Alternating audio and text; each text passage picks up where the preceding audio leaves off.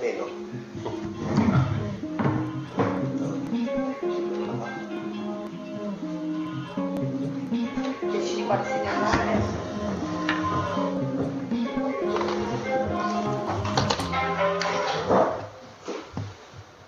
Welcome uh, everybody to the Virtual Global Lecture Hall. Good morning, good afternoon, good evening. Uh, we are now ready to start the last lecture of this year series. The, it will be as usual, we will have a, a number of cool uh, uh, lectures uh, by on, uh, actually on various topics uh, on uh, the visual neuro- neuroscience of manipulation and grasping, on what we think about, what we are saying when we, what we talk about when we talk about thinking machine, right? Schonberg. And uh, also uh, a very nice uh, presentation on the legal issues related to the, with deployment of robotics, because you know that we had dogs where, were people guilty of any kind of crimes, but uh, we had no robot messing around. So we, we need some kind of regulation. So of course there is a, uh, Andrea will explain it in, in much more detail, but uh, we, we have some basic principles that we can already use, but they need to be adapted. So it will be, um, as usually, uh, widely interdisciplinary uh, lecture that should hopefully seed your imagination and inspire you in your studies and your research. So uh, I would start. Uh, now we were talking about this third wave, where is uh, uh, fed by um, morphological computation, self-organization, emergence, uh, this new kind of, of uh, cognition science that should uh, allow to build the robot that we see in the science fiction movies sometime, some one day, uh, someday. So I think we may start immediately with a movie with uh, uh, the TED 2023 movie from which is a actually a viral video used to advertise uh, Prometheus movie. Maybe better the, that the movie in itself. Personal opinion. T.E. Lawrence, eponymously of Arabia, but very much an Englishman, favored pinching a bowling match between his fingers to put it out. When asked by his colleague William Potter to reveal his trick, how is it he so effectively extinguished the flame without hurting himself whatsoever? Lawrence just smiled and said the trick, Potter, is not minding it hurts. The fire that danced at the end of that match was a gift from the Titan Prometheus. A gift that he stole from the gods when Prometheus was caught and brought to justice for his theft. The gods, well, you might say they overreacted a little. The poor man was tied to a rock as an eagle ripped through his belly and ate his liver over and over, day after day, ad infinitum. All because he gave us fire, our first true piece of technology. Fire. 100,000 BC, stone tools. 4,000 BC, the wheel. 9th century AD, gunpowder. Bit of a game changer, that one. 19th century, Eureka, the light bulb. 20th century, the automobile, television, nuclear weapons, spacecraft, internet. 21st century, biotech, nanotech, fusion and fission and M theory. And that was just the first decade. We are now three months into the year of our Lord, 2023. At this moment in our civilization, we can create cybernetic individuals who, in just a few short years, will be completely indistinguishable from us. Which leads to an obvious conclusion. We are the gods now.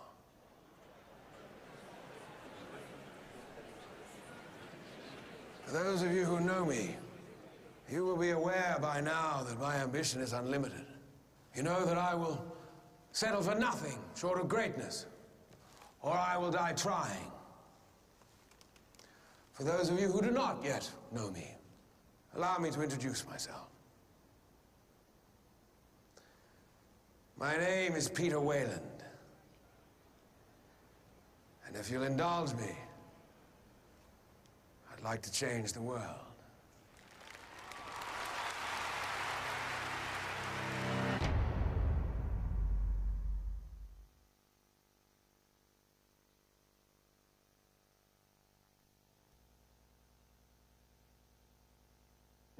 Uh, Fabio, the mic is off.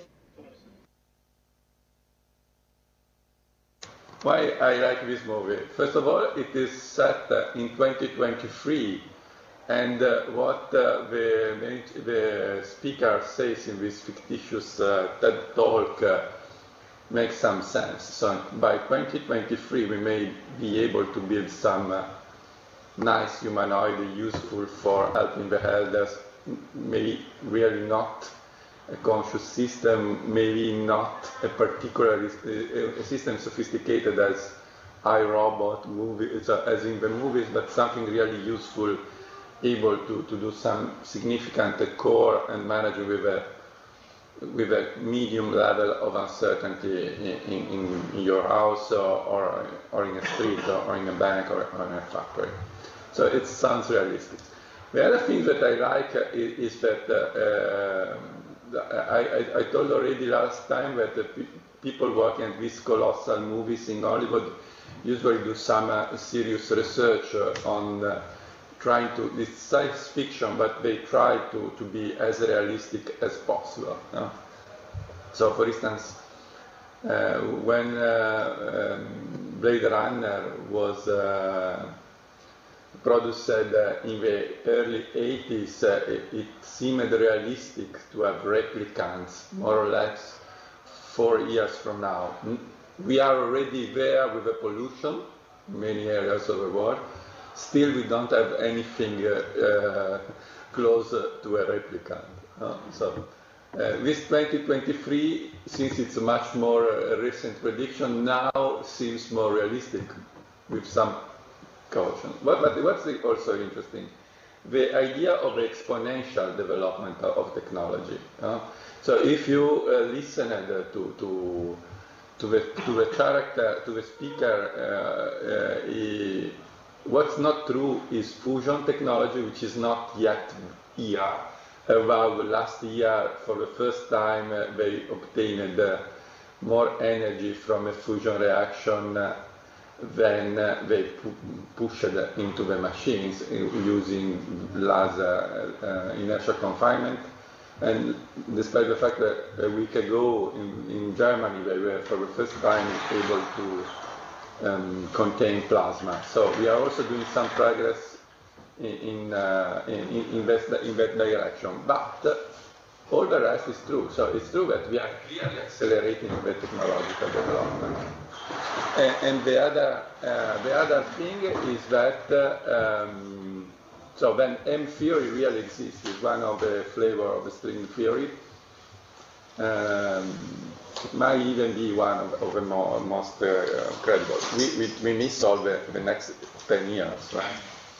So how far are we from building real robots? Because this, uh, so this lecture is meant as a kind of, uh, of, of, summary, no? So where we are, because uh, last time and other uh, times I talked about the first, the second, the third wave. Uh, here we are actually talking about the third, third wave. So the general ideas that we are pushing are ideas which are now uh, essentially a program of research, as we have seen from many, many guest lectures.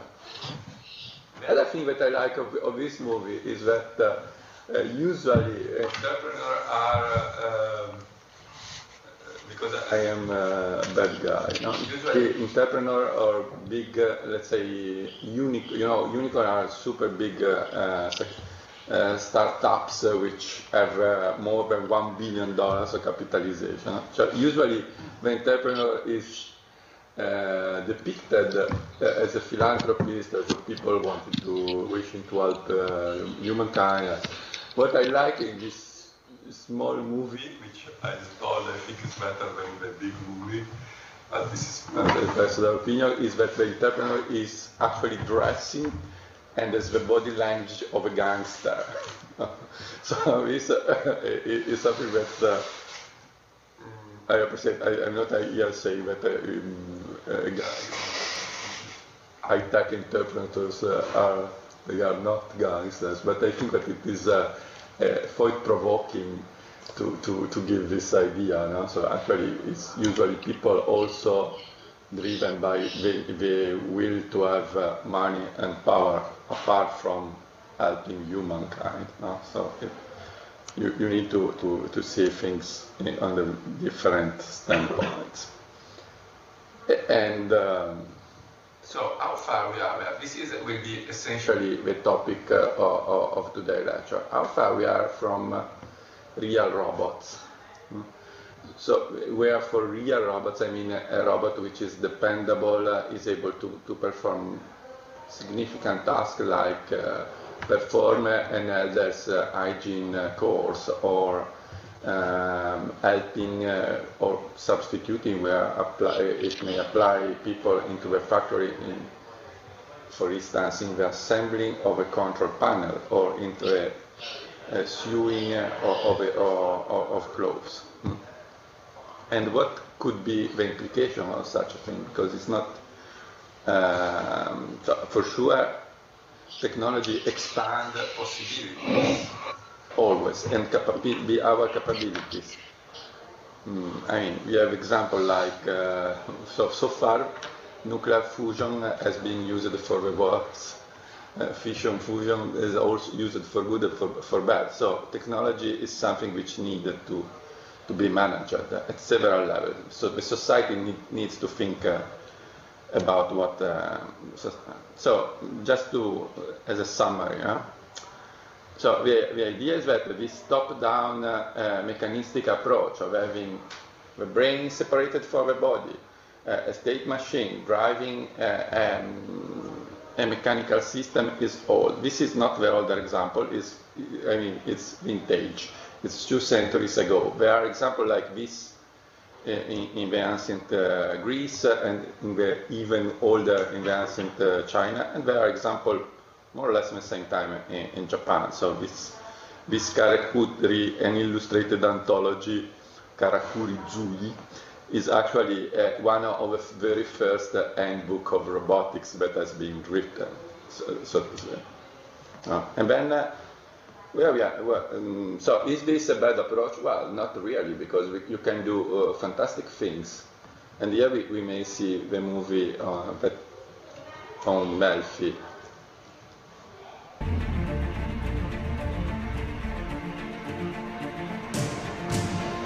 So this uh, uh, this missed top-down mechanistic uh, uh, approach actually can provide very interesting solutions. Uh, look here, so this is from uh, actually, uh, since I read, uh, sometimes I indulge into some nationalism. This is from an Italian company in, in uh, Italian American uh, automotive company, but you, you, may find similar things. So this is very advanced, but you, you can find similar example from KUKA, from Fanuc, uh, and from many other, other processes. So it's not, uh, the point is that you can do a lot of things.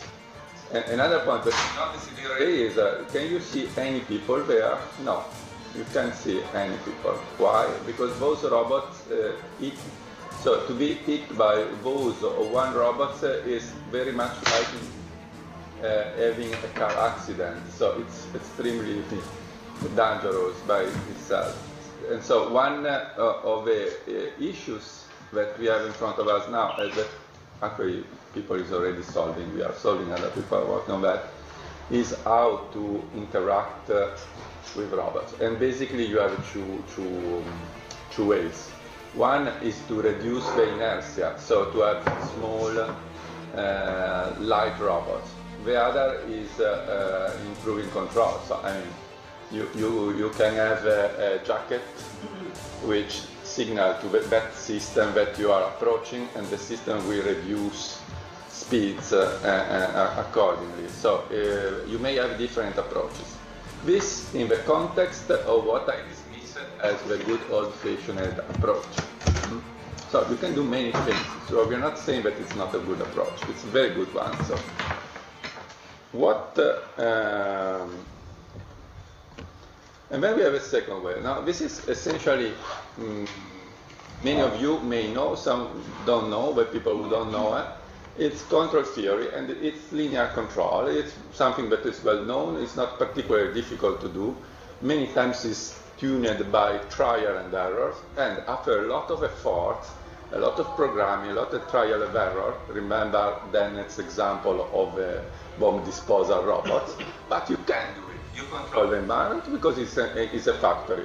Your system is um, um, put uh, doesn't manage well shadows, okay, you will put uh, big lights and there won't be any shadow. So you, you can manage these kind of things. Of course, what's the, the side effect? You have to put there a lot of effort, a lot of maintenance to keep the lights uh, lighted and, and, everything as it is expected by the design of your robot. And every time that you have some unexpected problem, you will add 2,000 line of codes. You will stop the factory and you will.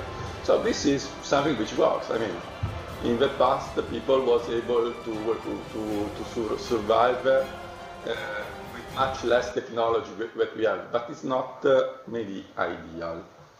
So the next uh, next stage, which is probably where we are now, so it's uh, the, um, application likes, for example, the Google car and you may show the video of Google car.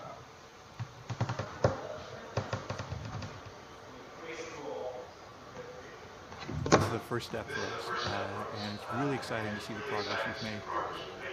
The opportunity for people to just move around uh, and not worry about it, it's going to be incredibly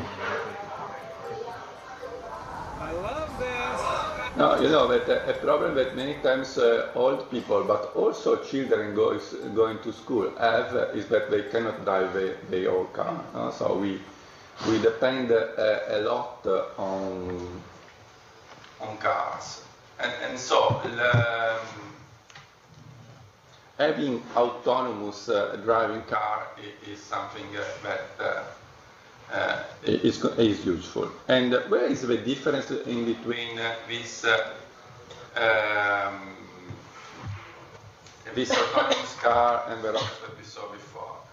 Uh, before, the, uh, we, in the factory, there were no people, and they were, weren't there because uh, still in that factory, but most factory, even the most advanced like that one, you don't usually have people. You have people doing research on having we have seen something last time. You know? So on uh, soft robots they, that don't harm people. You, know, they, they, you may remember the then student Sami Haddadin, now professor, uh, hit by, by the robot, something that you should never do in, in, in factory.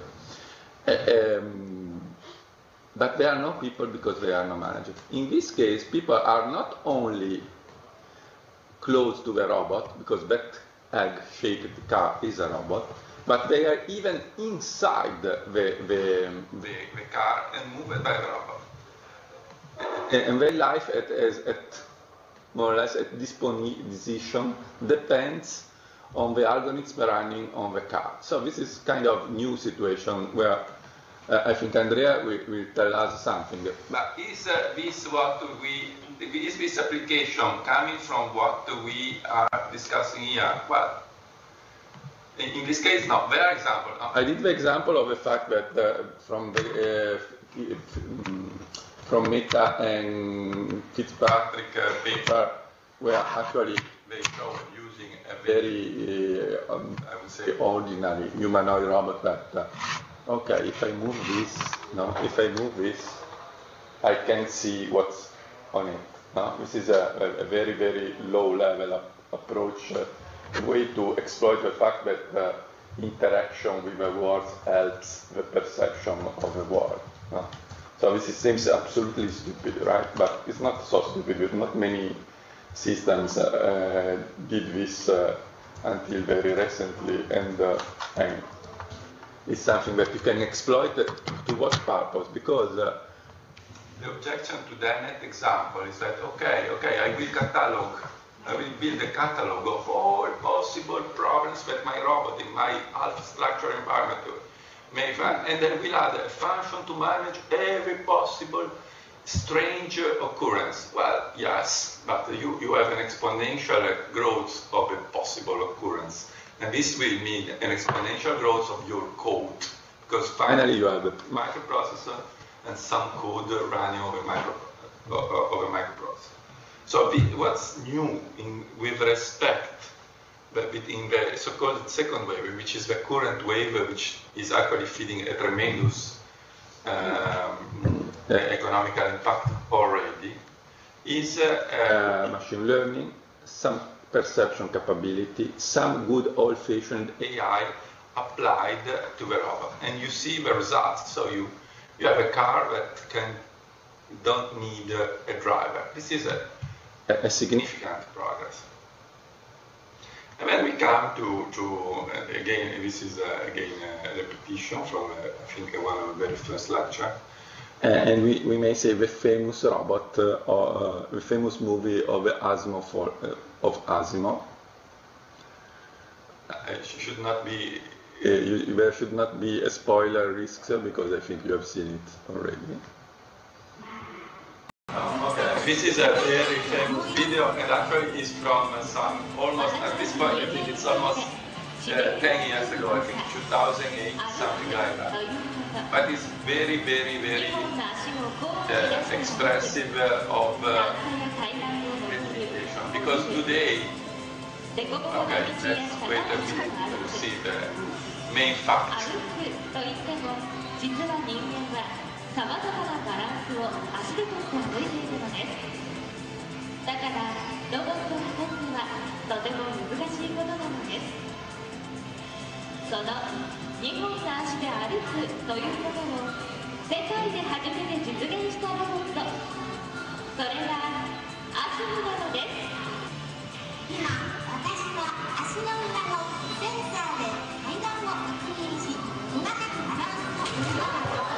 is, this is, uh, you have seen it uh, already, okay. And uh, there are uh, another funny uh, similar things. Actually, this was several years ago, and now I, I don't know. Recently, I, I don't remember any public uh, fall of ASIMO. Why? Because they used the Dennett approach, so they add, added some routine to manage several situations that can occur, like putting the foot not exactly on the on the step of the stair, no? because this tremendous catastrophic fall, extremely unnatural because it doesn't go down as we do. I don't say the cats, but as we fall, with more or less we try to balance and to move in such a way that we reduce the, the damage of the impact. It just goes down. Bah. So this is, is really explicative of the, of the limits of the, the, let's say, standard, ordinary mainstream approaches. So, so far mainstream, because I, am not sure about that. Uh, so how you solve this? Adding code. And every time that you find a new strange situation that can occur to your robot, you add some new code. As many times uh, we have uh, said, this uh, put clearly a limit. We don't know exactly where is the limit, but it's clear that there is a limit. So now we can see the counter example, so the inner life of a cell.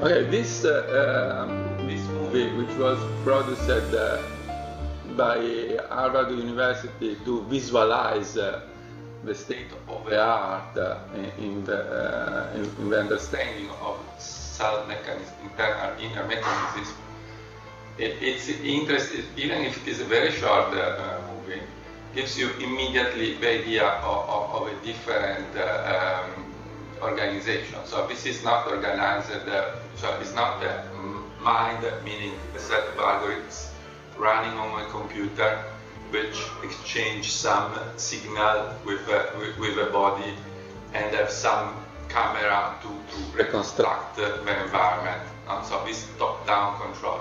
This is almost the opposite. You have many, many, many uh, small parts interacting stochastically in a kind of uh, loose network of, of, networks, and all the behavior is emergent.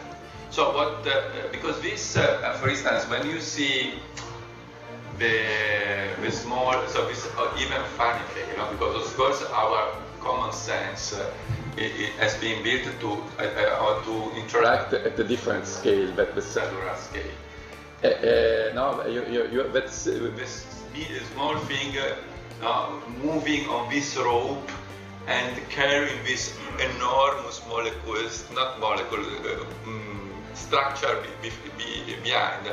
This actually seems to be linked, is linked to the mechanism of, uh, not call it happiness, but to the mechanism of, uh, mechanism of uh, uh pleasure. No? So, um, so it, it's people working in neuroscience knows this, this kind of, of, uh, of reaction. But uh, what we are interested in is to know that this is many, many, many pieces loosely connected with an emergent uh, behavior. At, the top, uh, there are many layers of this kind, and at top of that there is the emerging process of, of, of, of our consciousness. But this seems completely, uh, it, it's completely different. So we can maybe stop here. So, since I, am talking about summaries. The, um, so, and here, here is where the classical approach uh, shows uh, its limits. So we, uh, the, the, capability to manage unexpected events like uh, I put uh, my uh, my feet uh, in the wrong place of stair. And I told you, of course, you can have some routine to do that. But when you will find a different, uh, a snail chair, a snail stair, and then you will find something else, maybe an hole in the street, or maybe there will be wind, or maybe there will be uh, not the kind of light that you wish. Uh, um, no, so we cognition. So the cognition, uh, it's the cognition as computation paradigm is against the cognition emergent from sensory motor interaction. And then uh, we have uh, the um. Uh, we, um, as though, if you want to be fair, there are two uh, complementary issues uh, in with the two approach. the symbolic approach and the, uh, even integrated by a lot of learning and statistical um, management of, of, uncertainty and, uh, uh, and call it a, um, an approach inspired by morphological computation and uh, emergence, which is the frame of reference issue. So, in fact, if you think, if you remember the example of a Simon's ant of a beach, uh, you have this idea of ant doing some very complex uh, uh, path on the beach. But uh, this is actually due to the fact that uh, the ant, you remember all, cruise uh, studies, it reacts very, um, let's say, at a very short time to avoid obstacles and to to, to the um, characteristics of, of, the terrain. Um, the, example, the, the Foyt uh, experiment you can do is, okay, let's multiply the ant by 10,000 times, and what's going on? It, it, what's going on that is that the behavior of the ant will be completely different on that beach. On the other hand, we have a symbol grounding issue. No? So because uh, if I pose myself put myself in a condition of saying that the symbolic representation is emergent, and this might be already a, a, a bit improper because uh, what actually uh, people like Rodney Brooks uh, used to say already in, in, the seminar paper that we intelligence without representation that we, we quoted uh, a few lectures ago is that uh, we really, do we really need a representation. And then there was a, a, bit more recently um, another paper by Luc Steels intelligence with representation from the with our same point of view where um, Luke Steele argues that uh, essentially you need some kind of structure to give a, a short, shorthand description of a word. So we may don't even, we may, or in many cases for sure, probably ants don't have any kind of symbolic representation of a word, and they work. The same for spiders. So what you really need is a, a, a physical agent which is adapted to perform a, a number of, uh, call them tasks, of, a number of behaviors interacting with a given environment. This is what we know. In this case, uh, in many cases, uh, a, symbolic representation is not needed at all. And even when, if you put yourself, and might actually uh, agree on, on, such an approach, uh, an approach like uh, Luc Steels', so, okay, I need some kind of shorthand. No? So if I have phone, so I need a, so even that case, the point is that this symbol of a phone should emerge from sensory motor interaction. So uh, given my sensory um, my, my physical structure, my way of interaction with the world, and uh, uh, my um, perception system, I, I, may have this idea of this phone. Another system may don't need this uh, uh the idea of a, of a phone. So it, uh, actually, if at all, as told before, there are many systems which are much better than most robots which don't, almost for sure, don't have any kind of symbolic representation. Hmm. We have, but we are a very late stage of, of evolution, and uh, it's probably a big mistake to think that this symbolic uh, representation is not uh, evolving by our body interaction and by uh, our history, no? Because uh, okay. So and now we, we, we go back on the Turing test issue, and uh, we, we may recap with a number of uh, videos. The first of, of, them is the one from Ex Machina, which is a recent um, a recent movie on the topic.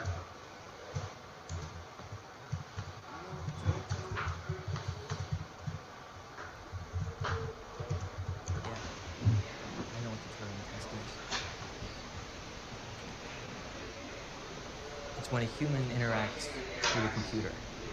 And if the human doesn't know they're interacting with a computer, the test is passed. And what does it pass to us? That the computer has artificial intelligence. Are you building an AI? I've already built one. And over the next few days, you're going to be the human component in the Turing test. Holy shit. Yeah, that's right, Caleb. You got it. Because if that test is passed, you are dead center of the greatest scientific event in the history of man. If you've created a conscious machine, it's not the history of man. That's the history of God.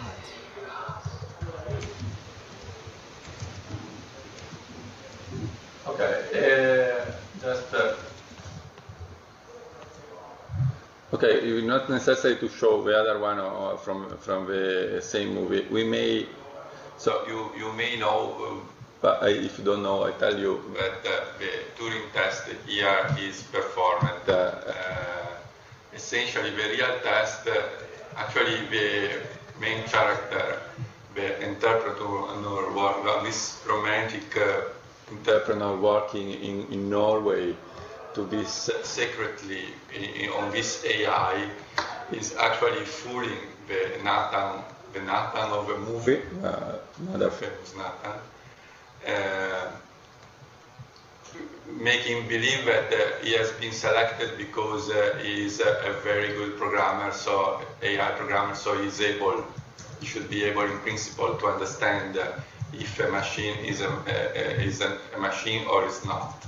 Actually, the secret purpose of the of, of the first guy is to see if a machine is so smart that it is able to think autonomously to seduce the young guy to, to, to, to convince him to free uh, her, no? because the, the, the, limitation of the movie is that the, this is a very typical role attributed to women uh, in, in, literature. right?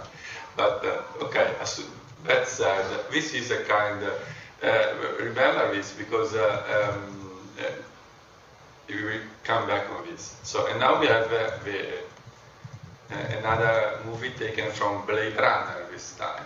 So today I, I, I want to be extremely uh, movie, so I want to show, to show you many movies.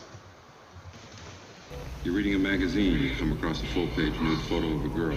Oh, we have Is seen already. testing whether I'm a replicant or a lesbian, Mr. Deckard? Just answer the questions, please.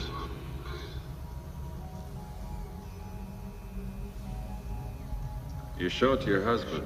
He likes it so much, he hangs it on your bedroom wall. I wouldn't let him. Why not? I should. You may remember that uh, also showed a similar interrogation from the same movie, of course.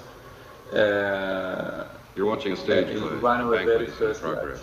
Uh, the guests in are that enjoying case, an it finished appetizer very, oysters. finished badly. No? The entree Here is is a a, a, a spoiled little, it's smoother, right? Just to spoil another movie, so the main character here doesn't know that she's a, a, a replicant. Would you step out I of the remember. speech? Hmm?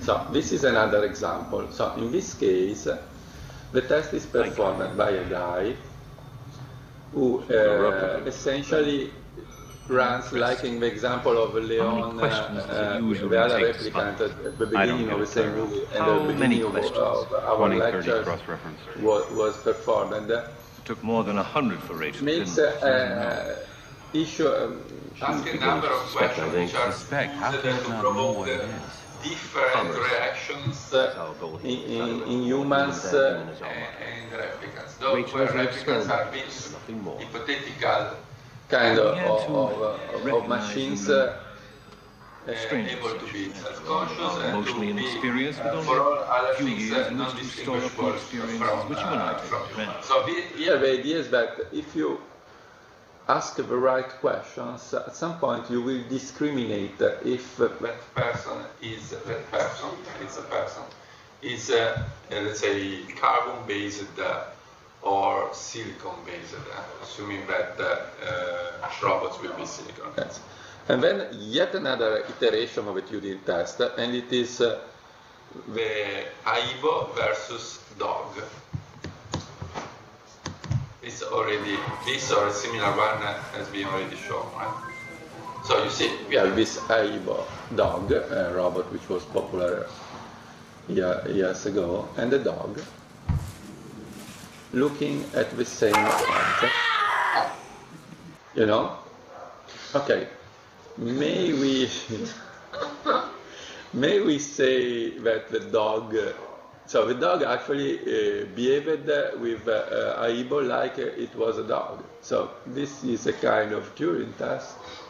So the uh, so here is uh, I would like to to to listen some some opinion from from the um, from the audience because uh, is any of these three example what uh, Turing meant as a Turing test?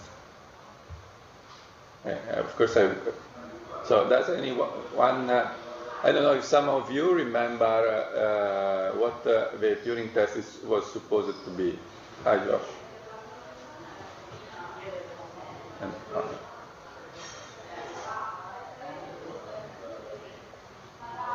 So that, does any anyone want to, to try? So, mm, for instance, the difference. So, uh, in principle, mm, we are doing the same thing with a dog. We want to see if the dog uh, um, thinks that the Aibo is a dog, essentially. No? So, if what how the dog reacts. The other is uh, how, in, in, the other case, I do a, a, long list of questions. And in the other case, I try to see my system, which is clearly, uh, because there is another difference. So it thinks to dog, dog.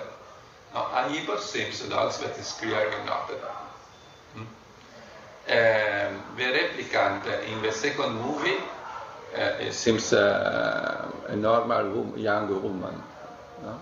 It's absolutely normal. So you, you, you may be fooled by the appearance. Uh, you, you, we have seen, uh, and you, have, you can see a lot of androids which are very similar to, in, have a very similar appearance to people. Maybe they are not uh, wet, they are not um, warm, but I mean, all of those problems could be solved at some point. Um, and in the first one, the one from Ex Machina, the robot is clearly a robot. So the face is the face of a woman, the hands are the hands of a human, but it's clearly a robot. So the interrogators know that uh, the uh, system is a robot. And the question is not, is this a robot or a human? Is, is this system conscious and intelligent? So it's a different question.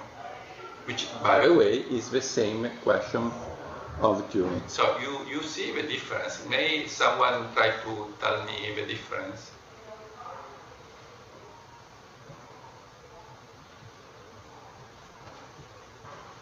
Don't be scared eh, because they are not uh, stupid uh, comments. Any. Ah. Please. Give me. I I don't like to provide the, the answers.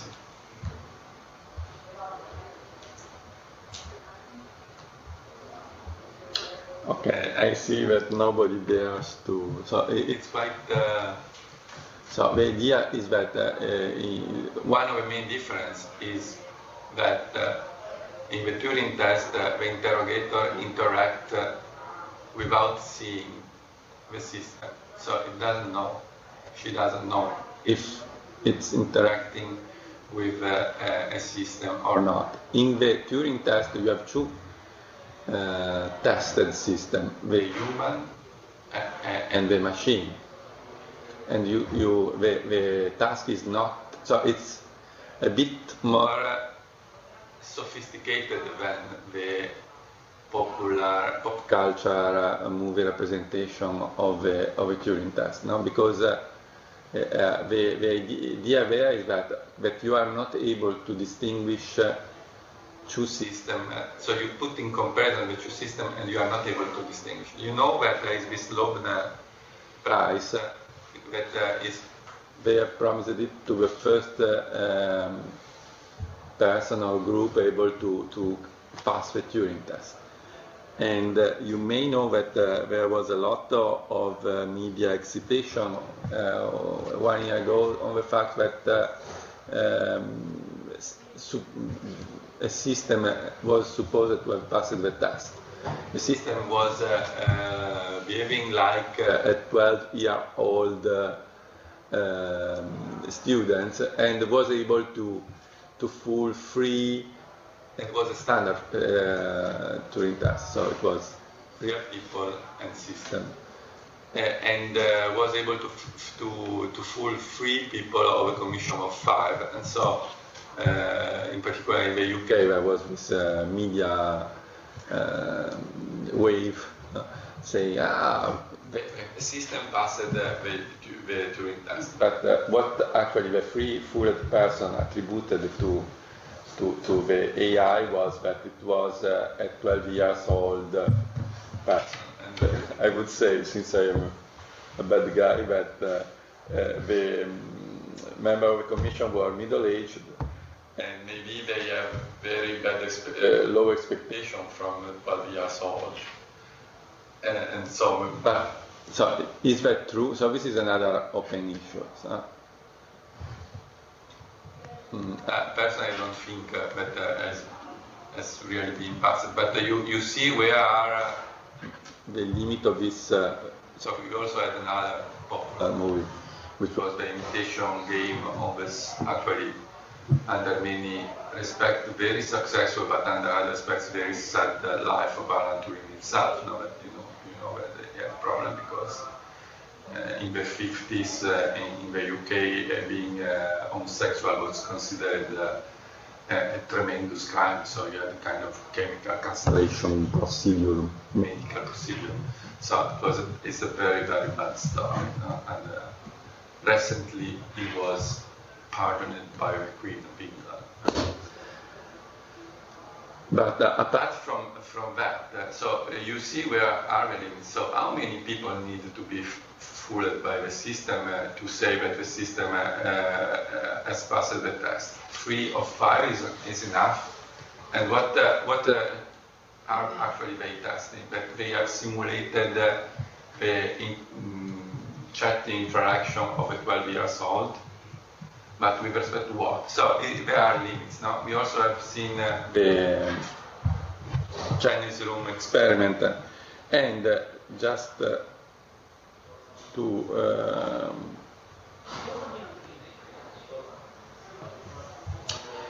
to um, to conclude this. Uh, what you should uh, remember is that the Turing test of Ex Machina is not a Turing test and the replicant interrogation of Runner is not there. My, uh, for instance, I think that the idea of telling you that this is a machine is, is not a bad idea. But uh, it's not uh, the Turing test. The Turing test is much more, uh, in a certain respect, uh, sophisticated and smart because it's a comparison. Uh, and we, I attribute it to the people here the fact, the consciousness, uh, uh, uh, the intelligence by analogy. I, I don't even know if Georgia is a replicant. I, I, I have no real ways to, particularly without opening her. no, so uh, I really don't know. So in what we can do in the perspective uh, of, uh, and I will finish uh, uh, soon, uh, mm, of this uh, paradigm, I need new models. I need to model how this kind of emergence of behavior can be structured. A promising approach was introduced, for instance, by Lungarella Sporns, uh, working on the idea of information self-structuring. So um, actually, what drives behavior is the, the learning of the proper behavior is the capability to predict the effects of my actions. But it has to be in a very um, in an approach which doesn't commit to any symbolic representation. Then there are you may leverage on some probabilistic model of control, and, and you can uh, uh, build several models. Starting from there, you can actually show how morphological computation works and maybe build uh, models of uh, uh, morphological computation. An interesting uh, example in that direction is the snake bot, which is a kind uh, of uh, a very simple system made of balls loosely connected, which by maximizing predictive information, which is a technical ways to represent uh, how well you manage the information coming from your sensors to predict the um, behavior of actuators. It's nice because it behaves like a real Crotalus without implementing any behavior into it. So this might be one of the ways. It might be less easier it seems, so you may have to work in non-Euclidean spaces because the space of a movable body is not Euclidean. And uh, So it, it's uh, an open, so it's work for you, for those of you who are going to work in research, this is a completely open uh, uh, area which is actually related, uh, sometimes is uh, called uh, by, by inspiration, sometimes called bionics, um, sometimes as we do it's called embodied AI or embodied cognition.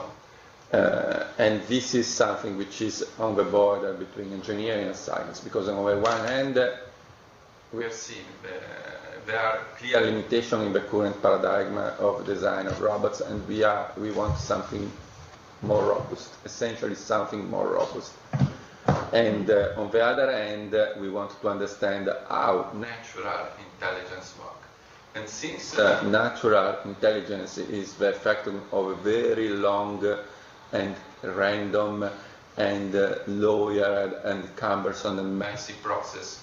Uh, sometimes it's possible with uh, looking into real animals uh, um, and trying to reverse engineer them. Uh, it, it's not so easy. It can be helped by building small models, more technical robot, uh, models, which try to see if the principles are correct, because the principle I mean, you know that we have the appendix, no? the appendix into our uh, um, digestive uh, apparatus uh, is completely useless. And there are probably a lot of, uh, of, of, these things. For instance, you know, the, well, you, you, may have heard of uh, dark matter, but there is also the junk DNA. So there is a lot of DNA, DNA which don't know for what it's going, right? Probably it's calling for something that we, for some function that we don't even imagine. But there might also be a lot of DNA which is still there because it was there and now it's not anymore used. This makes also a lot of sense. So synthetic methodology is a way to say, okay, let's try to clean the signal. I think that the behavior is based on morphological computation and emergence of self-driven information uh, growth okay, let's build a system and see what happens. So, and this of course has to be done hand in hand with people working on the natural system. So, uh, robots, uh, apart from being from, uh, and this is another story that I will leave for another time. No, robots, apart from uh, uh, being a tool, a practical tool, no, kind of machines for doing things that other machines cannot do. For instance, carrying your grandpa to your uh, grand uh, uncle house. this is something interesting. The other thing is that it, they are a science tool. They can be used to understand how natural intelligence works. I think that uh, I can finish here for today. And then we will have time to discuss this in the round table later today. Mm. So, thank you.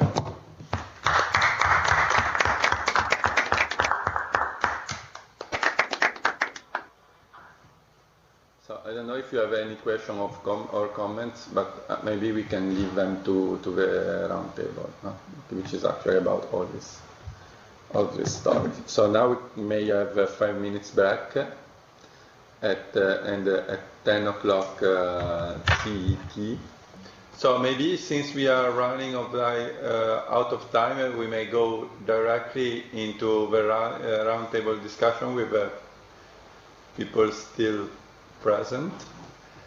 And uh, so uh, I may start, uh, with, so we, we may condense uh, the, uh, the so we may start from uh, Angel that I know it, will be pushed out of the room very quickly. And so your take on these three things. Your major, the major achievement so far, the major open issue and the major, uh, what we should do, what you should focus the research in three minutes. So, big achievement, uh, big problem unsolved, and what we should research. Uh, Simple well, questions. Can you hear me? Yes. Uh, yes, I, in fact, uh, due some kind of uh, scheduling problem, I I need to leave this room in, in five minutes, so I can just say a few things. I would like to stress what I previously mentioned about the manual intelligence. I think uh, mm, in general the robotic community is uh, deserving not enough attention to actually making robots uh, behave with this uh, exhibit. Uh, two minutes, okay exhibit uh, actual manual intelligence compared not just to humans or monkeys or even if you have a squirrel or they are able to manipulate or open uh, break a little uh, seeds or whatever. So uh, if uh, if you compare act, uh, present robots to systems to the ones we had some years ago. There's some improvement, but still, uh, if I look back at uh, when I started with all this some 20 years ago, I don't see so much uh, progress. So uh, that's my what I would like to say. So I would try to emphasize this need for actual because otherwise we, we are speaking about this uh, robot companion or whatever. Uh, if the robot companion is not able to behave uh, manually, this kind of manual intelligence. So it's not about uh, taking complex decision or whatever. It's about doing very simple things, opening uh, doors and uh, select an object. And um, we, if uh, as a professional, I, I, usually look at myself uh, every day or look at people what we all do every day with our hands. It is an incredible amount of abilities that are very, very, very far from any any system that is completely uh, brittle and uh, no autonomy or uh, lack of robustness. So I think we should. That's my message uh, today, and uh, I have to leave. Sorry, I cannot stay here for the rest of the of this roundtable.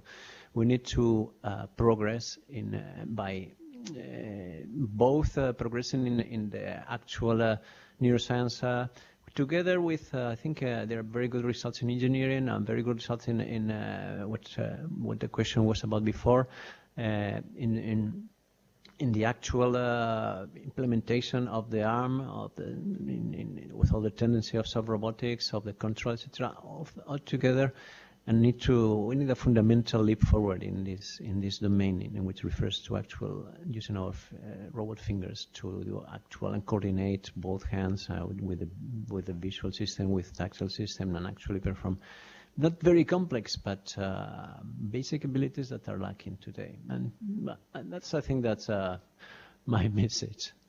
Thank you Thank you for the short uh, contribution to the condensed, uh, compressed contribution. So now we, we can uh, move uh, to maybe to Rolf. Rolf, have you something to say on this? So major, but uh, biggest achievement, uh, biggest problem, what we should research on. Well, I think is the father of the Shanghai lectures. Can, yeah. Well, can you can you hear me? Yes.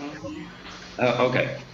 So I think uh, uh, really so one one uh, I think major development that has taken place in robotics is that previously 20 years ago uh, the robots were confined to the factory halls and since then they have started leaving the factory halls and robots recently, in recent years, have come very prominently into people's awareness in general, not only scientists and experts, but uh, I think the um, people, the, the community, the worldwide community at large, everyone is now talking about robots.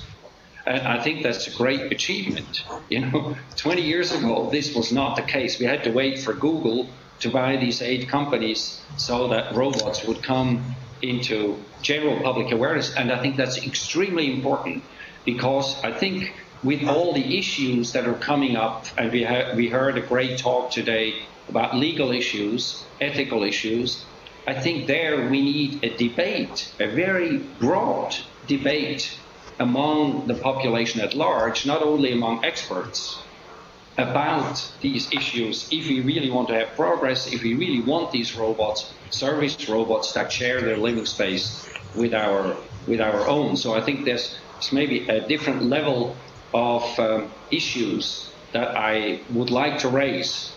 Having said that, I fully agree with uh, Angel on uh, his assessment at the technical level. Okay.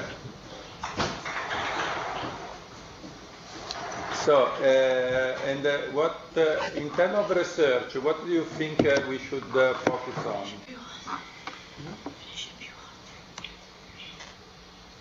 Research? Well, yeah, I think I, I agree. The biggest issue in research, in your opinion? Okay, I think one of okay a really big issue in in my view. I think we have a good understanding of of uh, learning systems. We now are beginning to have some understanding of social interaction. We are Mhm. beginning to have an understanding of sensory motor systems. But what we have not investigated really, neither in psychology, in developmental neuroscience, nor in robotics, is the interaction between sensory motor development and social interaction, for example, language. And I think there is an enormously direct connection between these, and that's what we should investigate as one of the big issues in understanding and building intelligent systems. О, Тут такое нажала и все, исчезло. Ой-ой-ой-ой. Вы сказали, что можно просто нажать. Okay, I think what was that? So we may uh, now uh, ask Josh uh, his take on this. Josh, what do you think uh, about uh, so biggest achievement, uh, biggest issue, and, and maybe Sure. what we should research on? So I think in terms of achievements, uh, many robotics labs have produced very uh, impressive robots, as I mentioned, that do one thing and do one thing uh, well. Um, in, in my own work in evolutionary robotics, we've demonstrated a simple robot that can recover from physical damage. And it does a good job, but it does not play chess or walk down a ramp or walk with, in an energy efficient manner. So I think our achievements have been to replicate specific aspects of biological organisms, but not general capabilities of, of organisms. So, um, in terms of open issues, I think one of the open issues is the issue of scalability. So, Mother Nature did not have 12 robotics labs around the world and produced a few dozen robots. She produced trillions and trillions of uh, organisms over millions of years. So, how are we going to scale up our study of robotics? As Rolf just mentioned, um, robots are now center stage in uh, the public uh, awareness. Can we can we exploit that? So, in terms of untapped opportunities, I think if we are going to try and address scalability, design and study and build robots at a much larger scale, um, we need to exploit the cyber uh, infrastructure that exists out there. So, cloud computing, I showed you an example of crowdsourcing. There are hundreds and thousands of uh, 3D printers that are now available in schools and, uh, and other places. Can we can we invite the, the global uh, community, as Rolf mentioned, into the enterprise of building robots and studying adaptive behavior? So I think the untapped opportunity is all of the cloud resources, the crowd resources, and the 3D printing manufacturing that's that's out there. Let's let's build a worldwide community to to study robots on a much larger scale.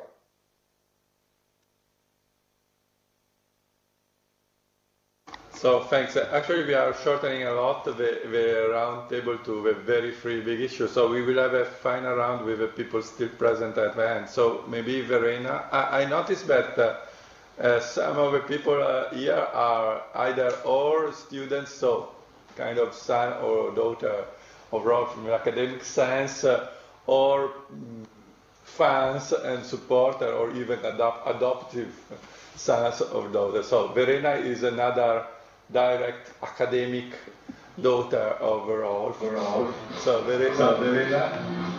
So hi. Um, so about achievements so far, I would say that in particular the embodied artificial intelligence approach has, has given inspiration that we should um, not look into, for example, sensory motor coordination and cognition as separate issues. And I think that's, that has quite started well, that we can also look into um, to, to find solutions for real world problems. And we've seen that in the last years that we um, that robots start to really cope in, in, in natural environments as well. Um, looking at what what um, Google produces, the autonom autonomous cars and their, their other robots.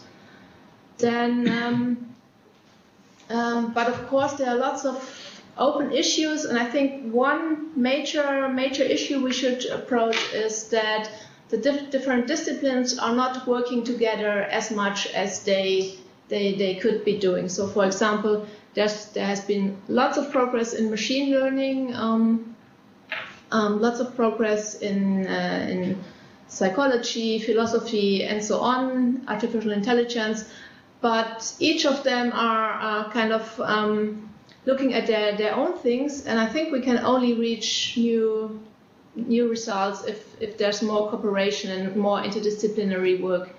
And um, that we should also focus on really understanding the principles of intelligent beings or, or machines and not just trying to optimize certain behaviors without understanding the principles.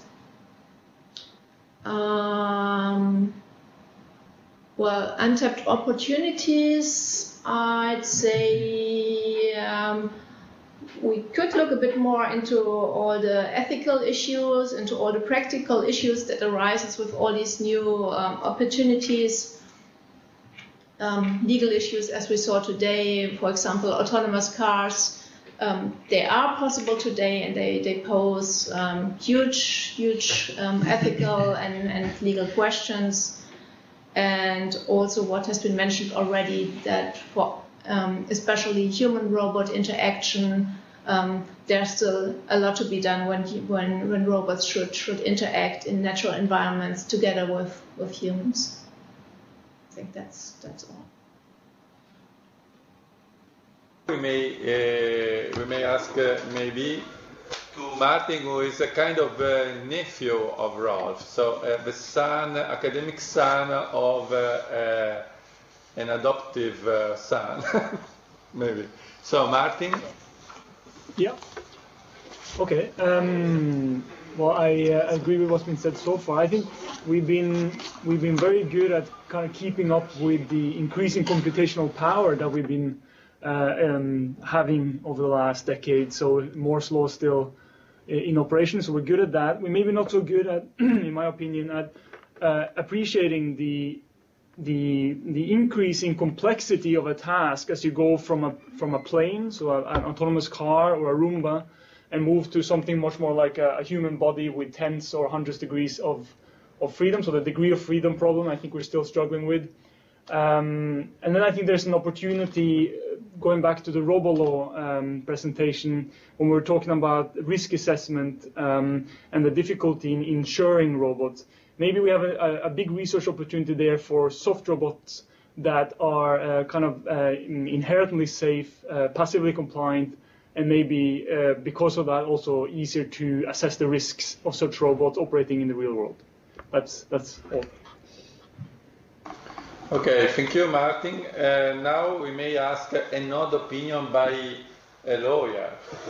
Okay, so um, what is what what the major achievement could be a methodology, uh, a methodological one. I think that the methodology that was developed by RoboLaw is quite innovative. The approach that we adopted, a functional uh, bottom-up um, approach, not top-down, but it's quite novel to jurists and resort, highly resorting to um, empirical analysis and uh, with a law and economics methodology. That I think is what is needed today. A major challenge in the medium run is to adopt an adequate regulation, an adequate framework for to allow uh, real life testing of many robots. So I, I, do believe that it's essential for the development of uh, um, um, good robotic products and uh, an industry for robotics to develop an adequate uh, an adequate legal legal framework for that. Um, and what shall we be researching upon? Well, I think the major issue, as I said, is that of liability and identifying what works and what does not work in existing and applicable liability rules. And how to do that? Well, we need to study mostly private liability rules in uh, an empirical law and economics fashion, and that is precisely what we're trying to do. Okay, thank you. Uh, I see there, uh, Antonio from uh, the consciousness guy. What do you think? So, uh, same question from uh, for same question for that we for the other. So, bigger, biggest achievement, open issue, and what we should research on.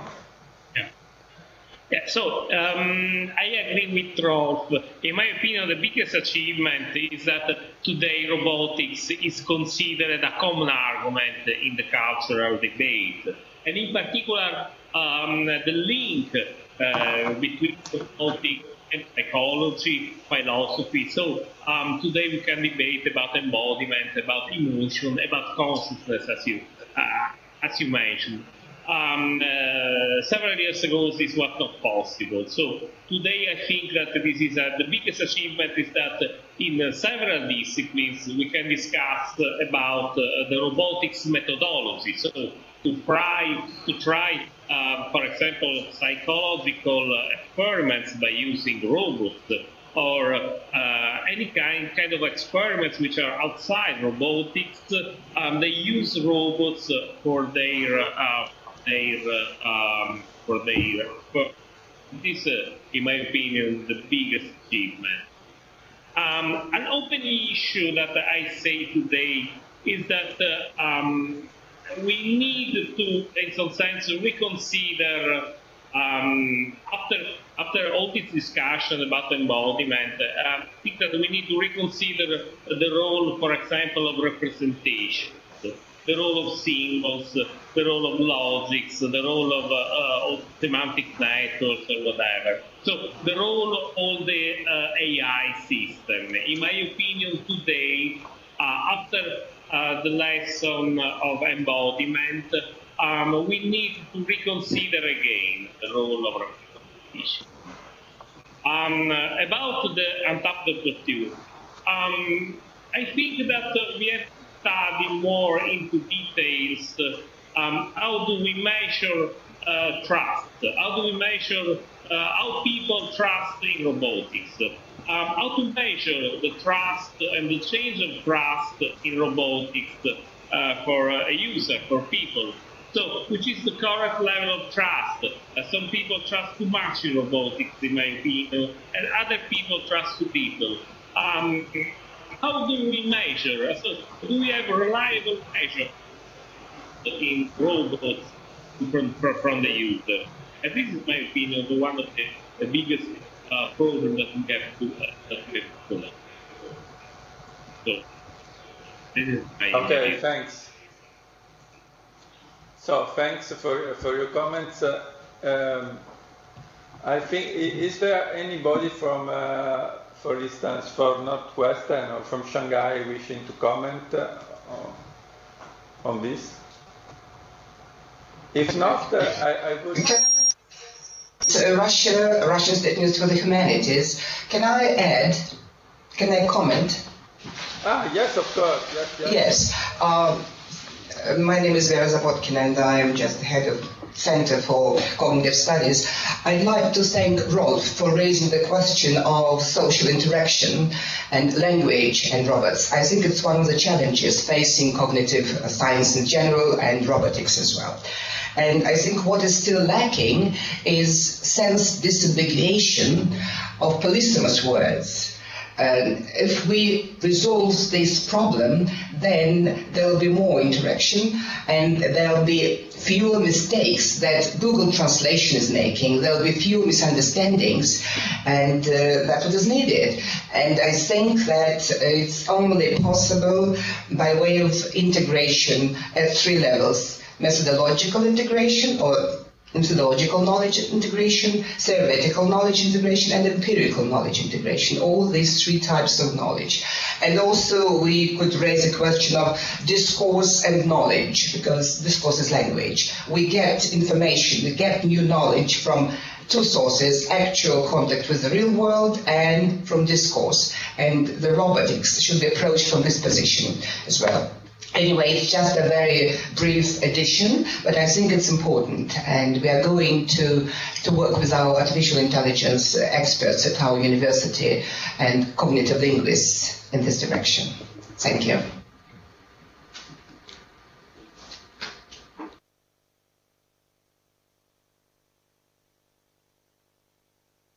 Uh, Fabio, your mic is off. Uh, sorry. So I don't know if you, we may leave the final word to Rolf if you want to say something. Ah, just goodbye. So uh, I wanted to um, to thank you or uh, everybody for attending and contributing to the lectures. In particular, uh, I, I, want to um, to thank uh, the teaching uh, uh, the tutors because you know that the um, Actually, the lecture will finish with the Cohen's presentation end of January, and uh, Tapio, Ricardo, Jimmy, and Jose Carlos are doing a lot, uh, great work tutoring a different group of stu students who took the challenges. So uh, again, thank you everybody. Thank you uh, people Antonio, Josh, uh, Angelo who left, Rolf for starting the whole process years ago. NATA for his uh, great uh, co coordination of, of, a video lecture. And so, see you next year, and thank you again. And happy holidays. Bye bye. bye, bye.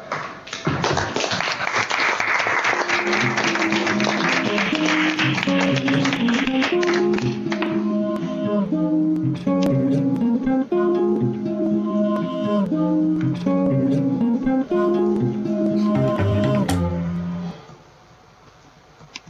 Brother.